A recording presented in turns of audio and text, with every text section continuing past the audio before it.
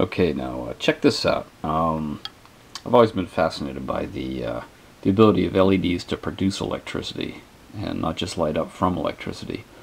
And I discovered this all mm, a couple months ago by mistake, and uh, I looked on the uh, on the web, and yeah, there's um, there's evidence of it. It's in Wikipedia, and other people have talked about it, but wasn't easily readily available um, when I just Googled it. So anyway. This is a demonstration to show that it is in fact true to get electricity out of LEDs. Um, on the left here we have a standard uh, solar panel, the kind you find outside in those uh, solar lights. Generates about 3.8 to 4 volts of electricity. Um, and over here we've got an array of about 12 LEDs, the red kind, uh, with a red glass. And they are set up in series and parallel. So you get a little bit of uh, amperage as well as voltage.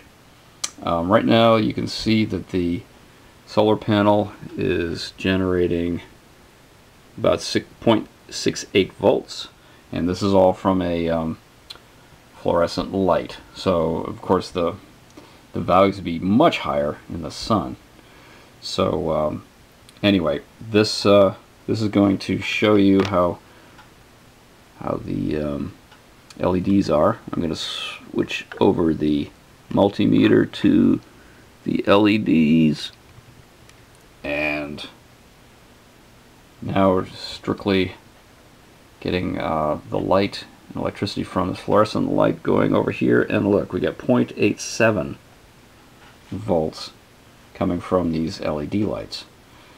So I think that's pretty um, pretty interesting. It's kind of like a poor man's solar panel. Uh, these things are pretty cheap. You can get them everywhere.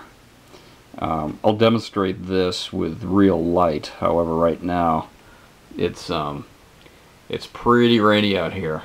Don't have a whole lot of um, sun today. Maybe tomorrow there'll be some, so I can give it a test. But anyway, I just wanted to show you the um, the ability of these things to put out actually more electricity than the solar panel from the same light. So um, that's just my little demo right here. Alrighty, thanks for watching.